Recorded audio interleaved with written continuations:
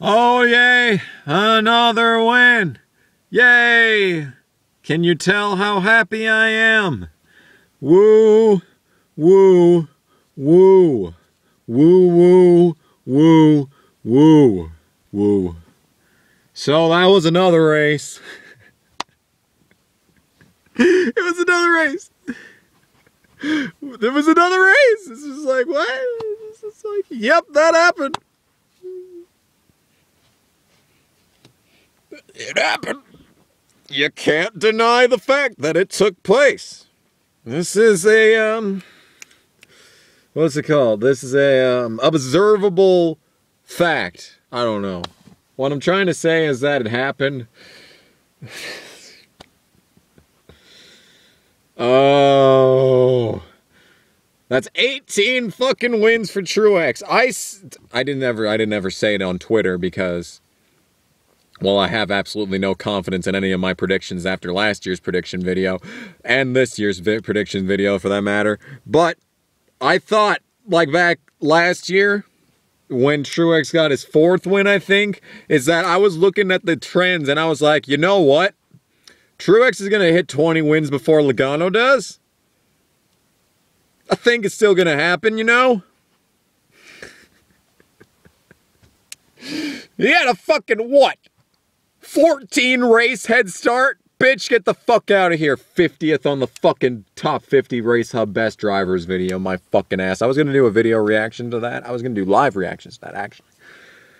And I didn't, obviously. But, um, I was gonna do my own. And then I actually watched it and I was like, no, no, I can't make any jokes. It's a joke in itself. I can't make any jokes here. I my comedy my comedy part of my brain is just like, you know what? No, I don't even care. Oh my god, that was not good. The first half was so bad, dude. Literally nothing you did mattered. If you didn't pit with three or two to go, I don't know what your crew chief was smoking and um, yeah. um, I uh, I was thinking this was just going to be Road America last year. Was what we were going to see. We were going to see Road America last year. But then they did the extra pit stop, and it was like, you know, I didn't expect that. No, I didn't expect that. The extra pit stop. Now, that was unexpected, but yeah. I mean, when you could call the finish when there's not a caution, you want to know why I enjoyed the 2016 Mid Ohio race so much? You want to know why that was my favorite race and probably still is my favorite NASCAR sanctioned event of all time, the 2016 Mid Ohio Challenge. You want to know why? Because you had no idea what was going to happen until the checkered flag dropped. The race winner went off track and lost like 15 spots at one point in that race. You could not look away from the screen. If I, I could I could I could actually make an hour long freaking presentation. I could make a goddamn PowerPoint about how good that fucking race was. And it can all be applied to this one. The only thing that saved this race was the end strategy. My God, if there had been a third fucking stage break, that this race would have been horrendous. If they had split this race into four stages, oh, this would have been the worst. This would have been the fucking worst because everyone would have done the exact same thing and it would have ended up the exact same way because did you notice how virtually nothing changed between um, the beginning of the race and the beginning of stage three? The only differences were were some of the cars that died over the course of the race and Larson just not having long run speed at Sonoma. These are the only things that changed about that lineup there. So little actually transpired in the first half of this race, and that's the worst part about it. God almighty stages. This They, stage caution suck in general, but who thought it was even slightly a good idea to do it at road courses. Can we talk about something that was actually good? No, we cannot. There was nothing really good to talk about this week. IndyCar wins again, and it wasn't even that great of a race. The uh, interval between the leader and second, at least when there weren't pit stops currently taking place, never was over two seconds. Except for during the pit stops. That was the only time that it wasn't over. That was that it wasn't under. I can't fucking talk to save my life today. Yeah. and I mean, you know what pisses me off the most is that Wickens got fucked over at the fucking start and then had no speed for the rest of the race. I don't know if that damaged suspension or some dumb shit like that. But the fact that he was just so piss slow for the rest of the race after making a move for third in the first lap and that impacts your shit for the next 54, it's like, oh, okay, that's wonderful. F1 was eh. The start was interesting, but most F1 starts are interesting. That was quite the uh, spectacle. It was indeed. It was a spectacle. Carlos Sainz looking like he's gonna get a fucking podium. oh my god, dude. Did it need more runoff space? Did that track just need a did it need another um, cubic mile of of runoff space there? Some more candy cane fucking striped goddamn runoff area. A little more, guys. A little more next year. I dare you to shave off more of those walls, okay? Jesus. Um, I didn't get to watch a second of ARCA. Thank you, people who decided to watch fucking Canadian Football League on the goddamn TV. Oh, oh, Canadian fucking football. Whose idea was that? Jesus on a goddamn. I don't know. Jesus, he's not even in the vicinity. That's the God has left us when it comes to Canadian football. Um, and then there was the truck race. Oh boy, Moffitt gonna save his career? Oh no, he gets wrecked by talentless fucking rich kid Rhodes, who's absolutely dog shit. And has never deserved a fucking thing in his life, and yet he's going to be at Chicagoland next week. I guarantee you that. Moffitt probably won't, though, because why would the person third in points be in every race this year? Why would that be the case? I don't fucking know. Um, and then Justin Haley won because Gragson is even more talentless than Rhodes. Jesus Christ, what the fuck was that second to last restart? What in God's name was that? What was that? How can you be this talentless in a KBM truck? How? It ha- you have to be. It has to be. It has to be effort. You have to. Ta- it takes effort to suck that fucking bat. Um. Was that everything this week? I think we rattled through everything this week. Well, shit. Huh. So Truex wins. Pit strategy won him the race for once. What is this shit? What is this parallel universe we've entered where pit strategy doesn't fuck over the 78, rather it gives him the win? This is an interesting timeline. Can we get some more of this? That'd be nice. That'd be much appreciated, y'all. That would be much appreciated, y'all. Much appreciated. Oh, you'll be a little bit appreciation there. Um, you can tell I'm actually fucking dog tired because I went to sleep at like midnight and woke up at 8 for the F1 race, which is technically 8 hours of sleep, but for some reason, it didn't feel like 8 hours of sleep. Did I actually sleep through the whole night last night? You see, I've been getting this bullshit. Okay, can someone please, for the love of God in the comments, explain this shit? Why is it that every night, without exceptions, except for possibly last night, but every night, I wake the fuck up at the exact same fucking time. 420 something in the morning. And don't give me none of that fucking marijuana MJ. MJ, you're missing the T in there. I don't need no MJ. I only need my MTJ, okay? Get this shit out of my face. Did you know that marijuana is getting legalized in Canada? I might just become a Canuck. Um, let's go, let's go, Gophers. Hockey. A. Someone get me in contact with Colin Pern so I can figure out how to be a Canadian properly. Anyway, why is it that I wake the fuck up at the exact same fucking time? No exceptions except for last night. It's always 420 something in the goddamn morning and it's without fucking exception. I don't even need to piss.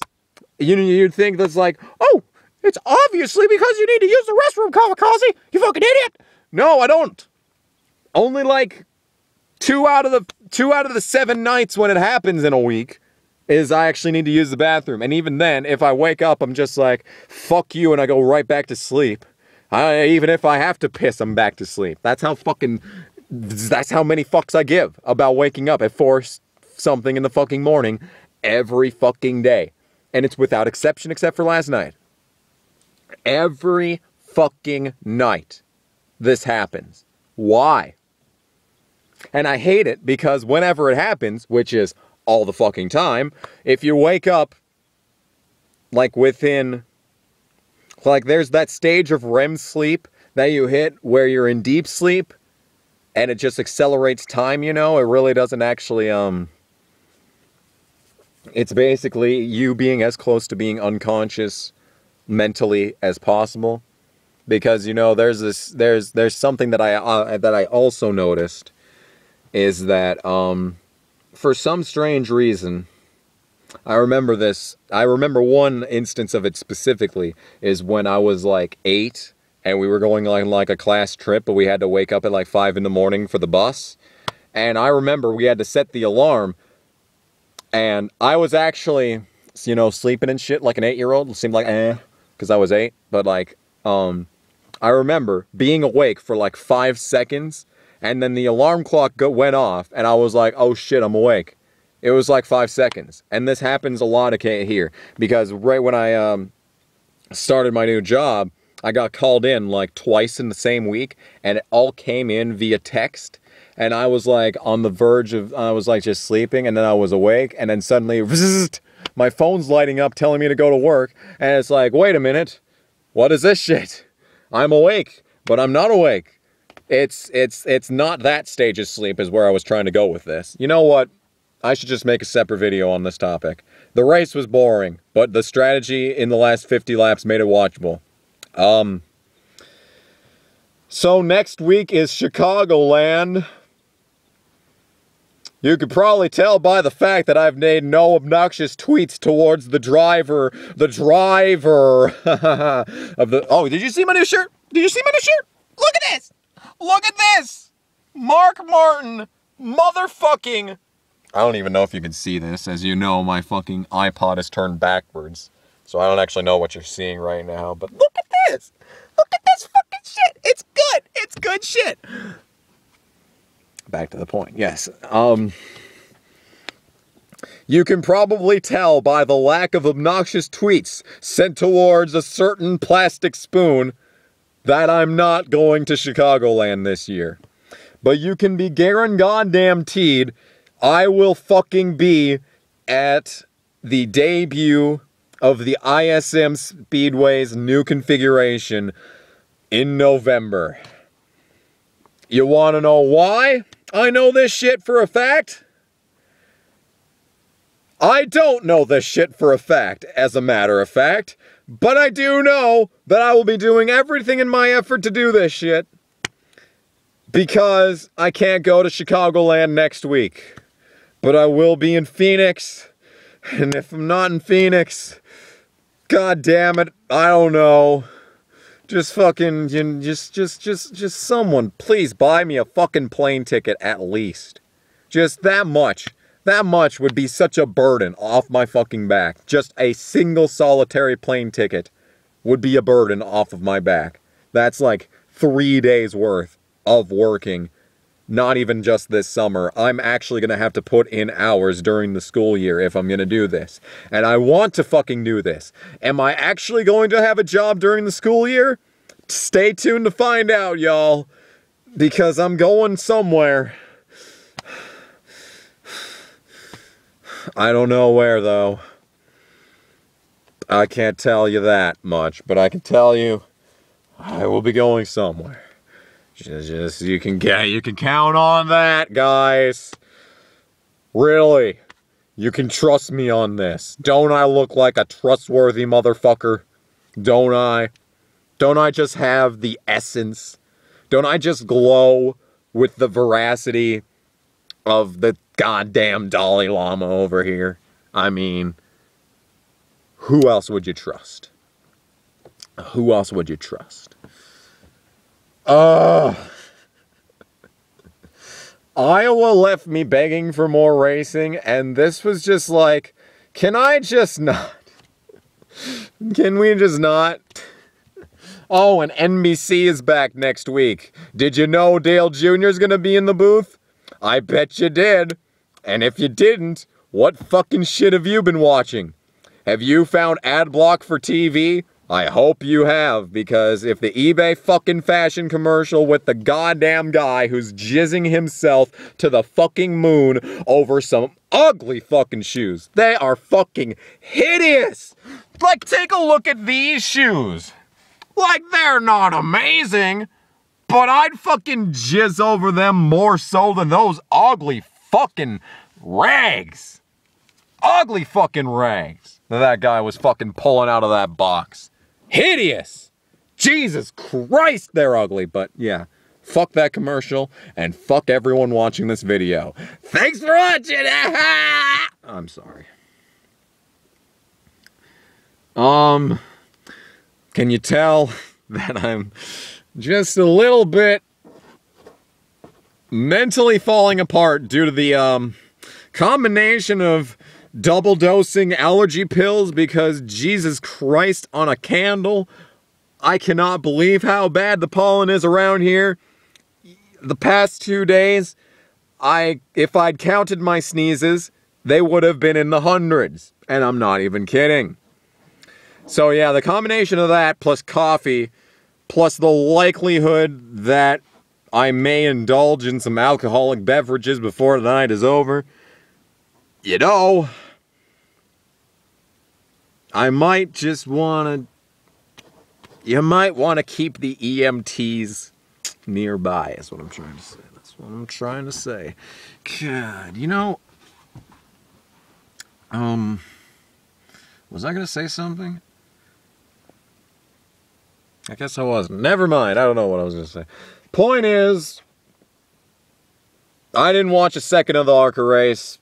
The truck race was, eh, better than yeah, it was still the best race of the week. F1 was fun for the first lap, but that's usually how it goes. IndyCar was the was okay, and this race was terrible for the first half and decent for the second half. But yeah. And even then, it wasn't even that good. It was decent for the second half, and even wasn't that, even then it wasn't that good. But yeah.